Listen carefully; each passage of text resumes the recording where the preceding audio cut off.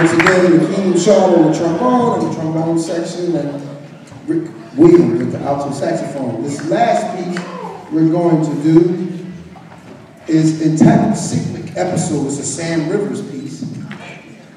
And we're going to feature a little bit of uh, the trombones again, so you'll hear from Lakiem and Michael Spearman, uh, Lakiem Shaw and Michael Spearman, and then you'll hear from the saxes, Munir Griffin Rick Williams again. You'll hear from a little bit the rhythm section. This cyclic episode is going to take us to a trip to Africa, uh, West Africa that is, and hopefully you'll enjoy.